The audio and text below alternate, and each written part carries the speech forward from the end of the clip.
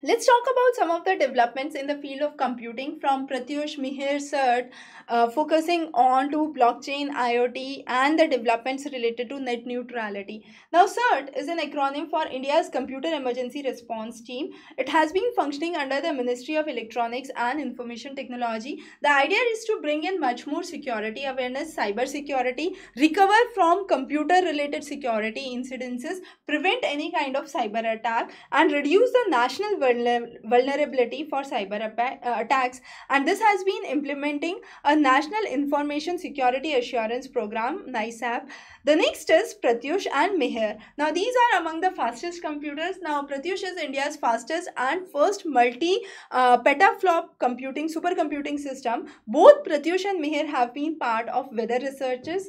Now Pratyush has been part of the Pune based Indian Institute of Tropical Meteorology. It is the fourth, fourth fastest supercomputer in the world dedicated for weather and climate research. Very very sensitive for forecasts related to cyclones, floods, cold waves, heat waves, uh, drought and this has been functioning under Ministry of Earth Sciences. The next is Mihir. Mihir has been uh, part of the National Center for Medium Range Weather Forecasting Noida.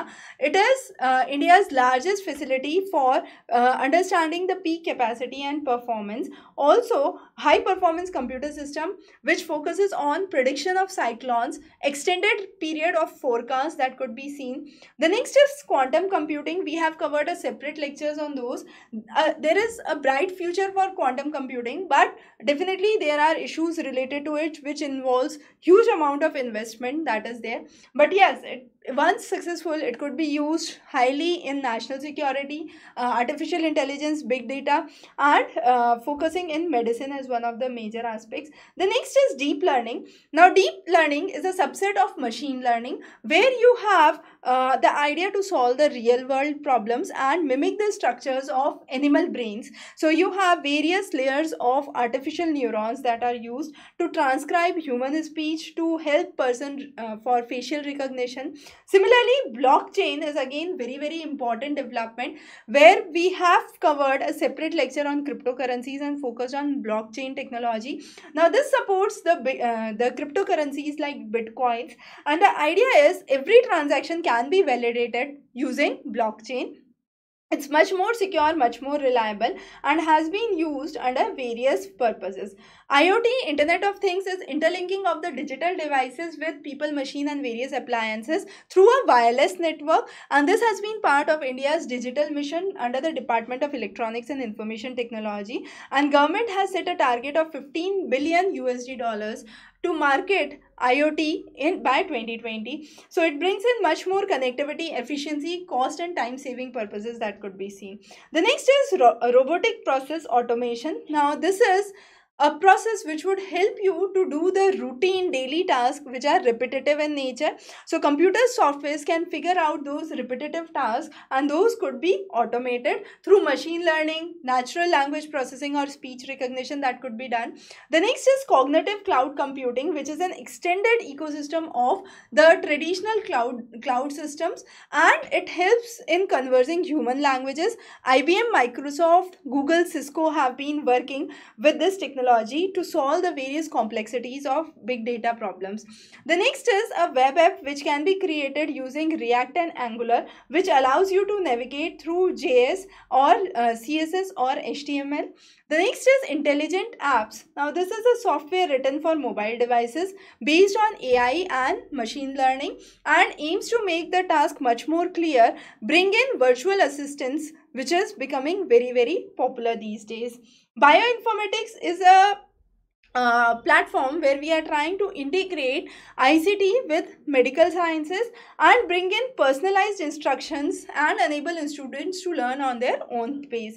Cybersecurity is one of the need of the hours. You have various um, levels under which cybersecurity has been uh, focused on. And there are various types of cyber attacks. We have covered a class on cyber attacks separately where we have talked about malware phishing and so on. Uh, WannaCry was one of the ransomware which is spread in 2017 and India a lot, lot of cities were affected. Similarly you have Mirai botnet which affected and infected the smart devices. Uh, it converts them into remotely controlled bots which were also known as zombies CDs and this was used to launch the denial of service attack or distributed denial of service attacks.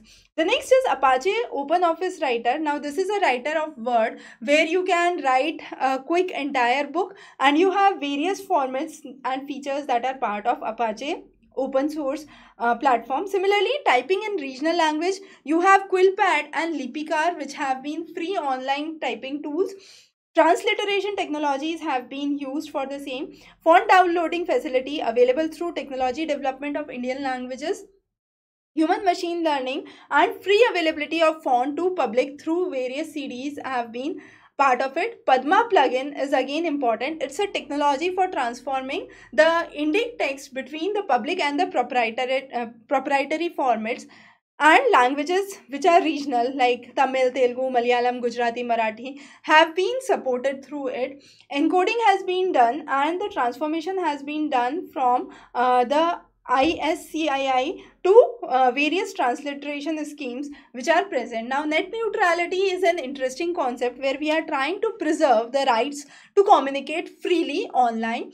Through the open networks, there is no kind of censorship that is there. It should not be able to block any specific application, block any specific website, any specific domains over the network, and there should be no rating for various websites or platforms that are coming up based on uh, the freedom to speech. Okay so uh, that is part of it. The next is mobile broadband and landscape. Over the years we have seen there has been a huge jump in the mobile users but still the technology has not reached a lot. So there are some statistics related to it. How many people have been using mobile bandwidth? How many have been using 2g 3g 4g and so on. So that is again important. We have been switching to digital mode. Uh, the next is loon for all. Now loon is a project of google where you would have balloons that would be floating in stratosphere twice the height where the aeroplanes might fly. And this balloon would be able to provide internet to the remotest part of the world. So this through this technology you would have internet connectivity and trans uh, communication connectivity even in times of natural disaster that could be seen. And this is one of the very uh, fine algorithms which have been working to determine the movement of the wind flow and based on that you would have the stability of the loons that would be taken into account. So a pilot project was started in 2019 uh, 2013 sorry where nearly 30 balloons were launched in the new zealand south island area as a part of mission to test the internet in those areas. CyberDost is an area where you are trying to bring in sensitization of uh, social media users for their Twitter accounts for prevention against cyber crimes. And this is a kind of Twitter handle which has been used for cyber CyberDost. So cyber security, what are the important elements? You should never share your passwords. Password should be strong. Uh, you should be aware about any kind of frauds, spam emails coming in and reporting of cybercrime has been very, very important. Now, what are the components? Now, components focuses on online cybercrime reporting, R&D, awareness, capacity building and the forensic unit. And you have the various uh, uh, things which are taken care under the cyber platform. So uh, what are the things that we need to focus on is basically much more awareness better use of web platforms uh, conducting awareness programs and brochures OLABs is again a very very interesting concept. Now lab experiments being conducted over internet more efficiently and less expensively is the sole idea where students who do not have access to real physical labs can attend those virtually and understand the concepts and this digital divide brings in this digital um, uh, kind of divide that is there with a school which is well equipped and a school which is not so equipped can be fulfilled through OLABs. So OLABs have been featuring content for NCERT, CBSE and state board syllabus for classes 9 to 12. Uh, English as well as maths lessons have been part of the curriculum with much more interactive, uh, simulative and animated uh, models and lab videos that are part of it. So those were some of the most important concepts that we have discussed in the section on uh, computing. A very good luck for your upcoming examination. Definitely we have a lot more series before your examination. So don't miss any of those and definitely definitely few of the questions are very very predictable. As always we have been mentioning those across our lectures. So uh, take care for those lectures and do practice your past papers. A very good luck to all of you. Have a wonderful